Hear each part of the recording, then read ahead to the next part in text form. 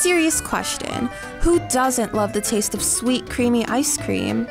While some of us in the Western Hemisphere may think of a classic scoop of vanilla on a waffle cone, the first instance of ice cream was thought to have been traced back to China around 97 AD. Join us as we explore frozen treats from seven countries around the world.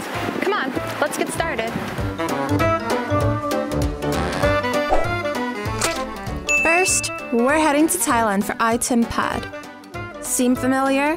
It's also known as rolled ice cream or stir-fried ice cream. They pour a liquid mixture on a freezing stainless steel plate and use knives to agitate and flatten it until it's firm just like ice cream. Toppings like cookies, cereal, cakes, and candies come sprinkled on top or mixed in. But this doesn't stop the texture from being thick and smooth. Next on the list is snow cream, or snow ice, from Taiwan. Ice cream is frozen into these big cylindrical blocks. A machine spins the block while shaving off the bottom layer, creating beautiful, thin, fluffy ribbons. It's a lighter, more refreshing favorite in the Philippines, Hawaii, and other parts of the US. Speaking of favorites, mochi ice cream has worked its way in our hearts straight from Japan. It's sort of like a tiny bonbon full of ice cream, except it doesn't get all melty in your hands when you wait too long to eat it. The outside is made from sticky rice dough that's pounded several times before it reaches the perfect consistency. Mochi ice cream was actually first made in the 1980s, except it used rice milk instead of real ice cream. Then, in the 1990s, a company called MyMo created the mochi ice cream we all know and love. Mmm, mango, my favorite. You know, mango is actually a really traditional flavor for kulfi, an Indian style ice cream. Kulfi is mostly popular in India, Myanmar, Bangladesh, and the Middle East. The word kulfi actually comes from the Persian word meaning covered up. Condensed milk is one of the main ingredients in kulfi, which makes the texture similar to a frozen custard. It can be served on a stick, on a plate, or in a cup.